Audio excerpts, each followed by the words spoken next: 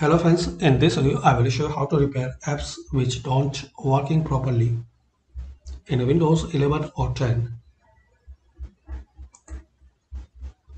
So firstly click on start, settings, apps,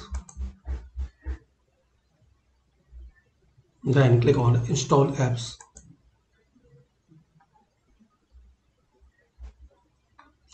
Here guys you will see a list of application which you installed.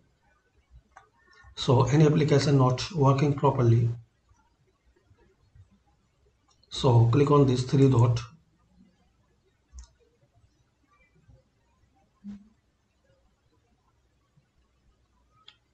Then click on advanced options.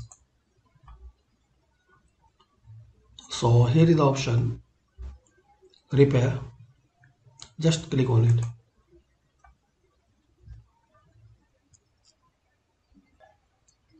If this app is still not working right reset it. The app's data will be deleted so just click on reset.